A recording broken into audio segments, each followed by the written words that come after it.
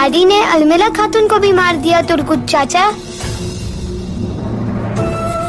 इन्होंने अपनी तलवार से दुश्मन को जानम भेज दिया।